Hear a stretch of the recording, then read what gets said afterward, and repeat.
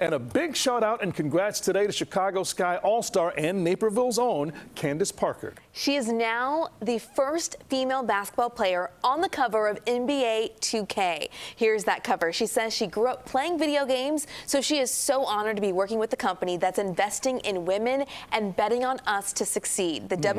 WNBA 25th Anniversary Special Edition. It's going to be released September 10th. This is so cool to see this. And historic. I mean, it's it never is. happened before. I saw it on your Twitter first, and uh, I'm yeah, like, that's awesome. and, you know, and the WNBA All-Star Game is tonight in Las Vegas, so she'll be out there with two other uh, members of the Chicago what Sky. What a day. Yeah, exactly. Love it. Love it. Awesome.